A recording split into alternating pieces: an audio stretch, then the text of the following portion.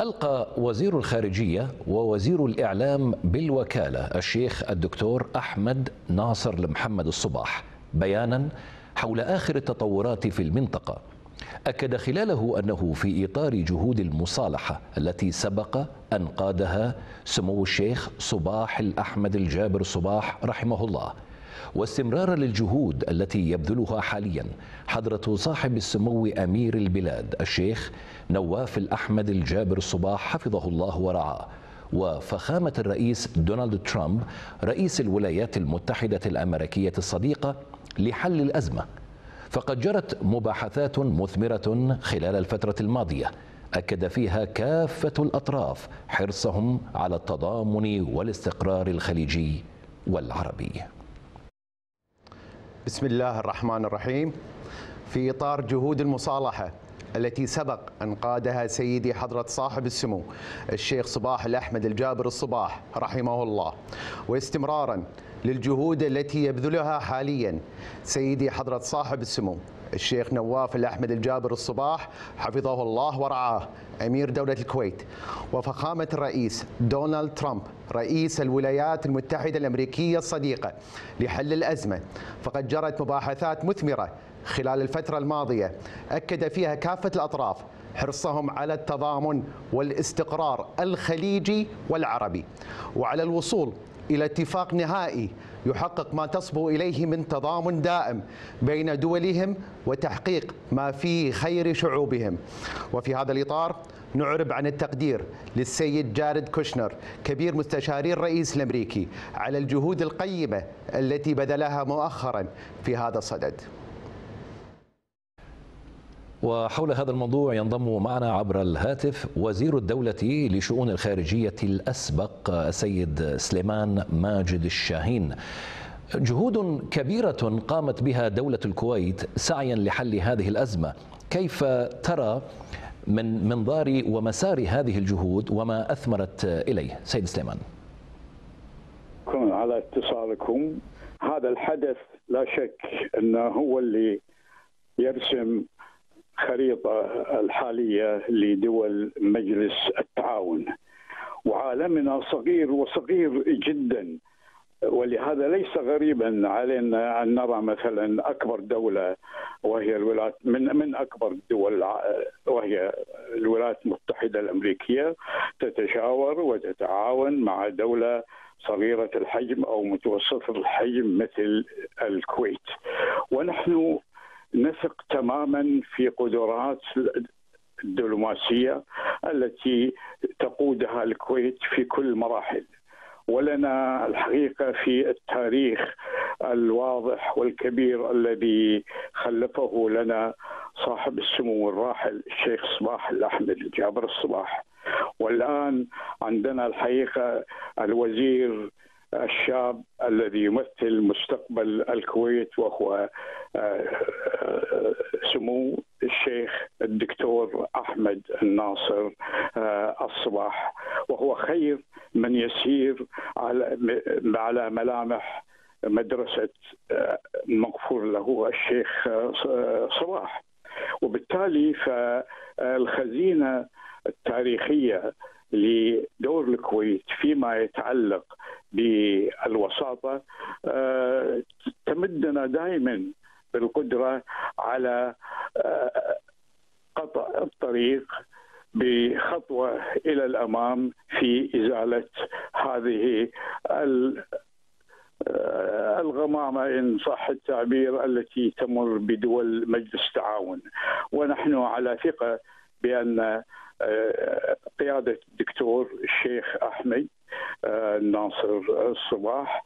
بإذن الله سوف تحقق الأهداف خاصة وأن جميع دول مجلس التعاون واعضائها حريصين جدا أن تتغير صورة العلاقات إلى أسلوب أفضل آه، بحيث ان نستطيع أن نعيد لمجلس التعاون آه، الأسلوب المعروف بالتعاون الشامل والذي يعكسه اسم مجلس التعاون.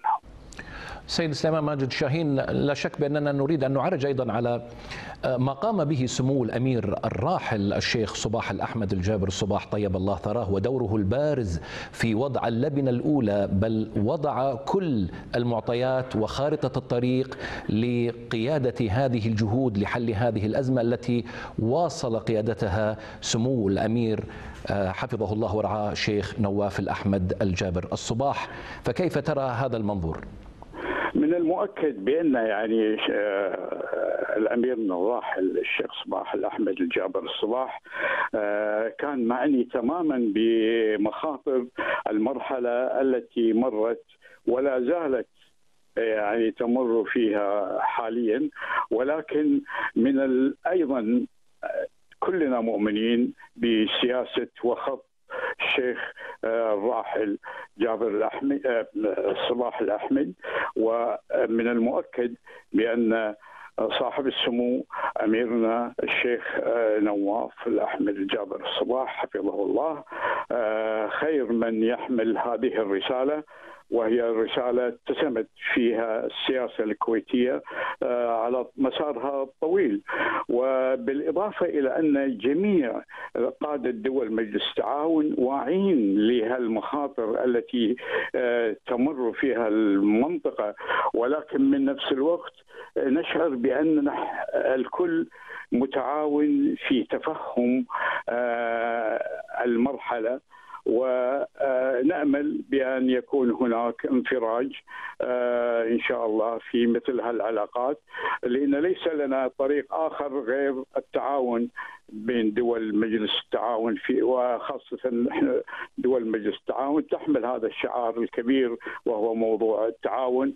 بل أكثر من هذا آه، أحلام القادة المؤسسين كانوا يأملون في أن التعاون بنهاية الطريق يقوم ويؤدي إلى تحقيق الاتحاد وهذا هو في الواقع آه، مضمون آه، هذا المجلس آه، ونأمل بإذن الله أن يتحقق هذا الأمل بعد أن تزال مثل هال ما ما يعكر الجو الحالي.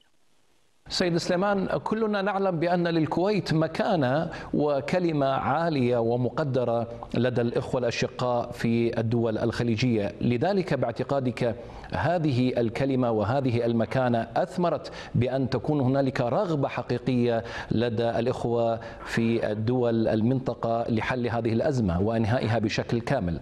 من المؤكد جميع أعضاء دول مجلس التعاون وقادتنا يتسمون بمثل هذه الصفات. الصفات الرغبة في حل المشاكل الرغبة في آه، تطويقها الرغبة في عدم التصعيد. كل هذه هي قواعد تحكم مسار مجلس التعاون. والكويت الحمد لله يعني وتوفقت في مسارها بتحقيق هذه الأماني.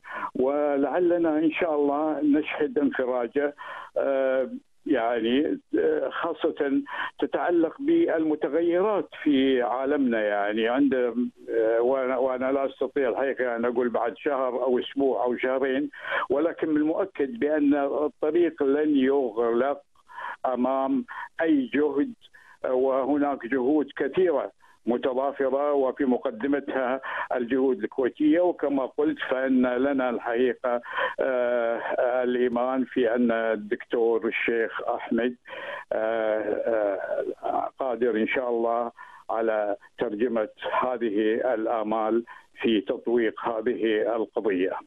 باعتقادك آه، يعني سيد سليمان ماجد الشاهين وبصفتك أيضا من الرجال الذين مارسوا العمل السياسي طوال فترة خدمتهم وتوصلت أنت أنت كنت في يوم من الأيام وزير الدولة للشؤون الخارجية الأسبق، هذه الدبلوماسية الكويتية إذا انعكست في القادم من أيام على حل هذه الأزمة الخليجية ورأب الصدع الخليجي، ما انعكاسها على المنطقة كإقليم خليجي بعودة اللحمة من جديد وانعكاسها أيضا على المواطنين الخليجيين فيما بينهم البعض؟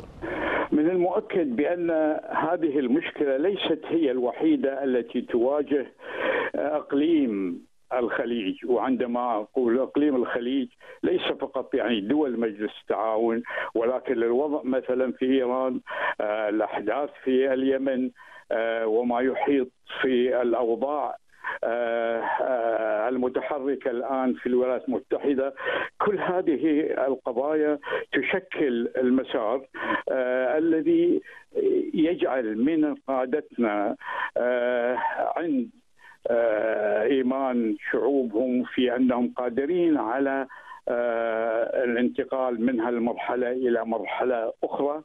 ولهذا نجد أيضا أنه يعني تحركات آه، معالي الدكتور آه، نايف الحجرف أمين عام مجلس التعاون بين هذه العواصم آه، يعكس أيضا هذا الدور وبالتالي الجميع مجمعين على أن هذا الوضع يجب أن يتغير إلى الأفضل وإلى العال وكما هو يجب أن يكون. سيد سليمان ماجد الشاهين سؤال أخير قبل أن نختم هذا الحوار معك سيدي. أريد أن نتحدث حول انعكاس هذه الجهود السياسية التي تقوم فيها دولة الكويت على هذا الوضع الآن وانعكاسه على الجانب العربي ورؤية أيضا على المنظور العالمي. كيف سترى هذا الموضوع إذا كان هنالك مبادرات لحل هذه الأزمة وانعكاساتها؟ من المؤكد بأن يعني دول مجلس التعاون لا تمنع أي خطوة يستطيع أي تستطيع أي جهة أن آه، تخطوها في آه، سبيل حل هذه هذا هذا الإشكال. ولكن أنا مؤمن دائما بأن يعني أهل البيت أقدر على معالجة قضاياهم من الدول الأخرى دون انتقاص للجهود التي تبذل عربيا ودوليا. خاصة أن منطقة الخليج منطقة حيوية وليست منطقة مهملة. في العالم. بل مرحلة ودول ناشطة لها تأثير سياسي لها تأثير اقتصادي محيطة في في آه، منطقة حيوية أخرى. وبالتالي نشعر تماما بأن يعني هذه المرحلة إن شاء الله آه، أن تصل إلى حلول لأن هذه ليست المرة الأولى التي تحيط آه، المنطق بالمنطقة مثل هذه الاختلافات في وجهات النظر وليست الخلافات على ما نقول يعني. سيد سليمان ماجد الشاهين وزير الدولة لشؤون الخارجية الأسبق شكرا جزيلا لك.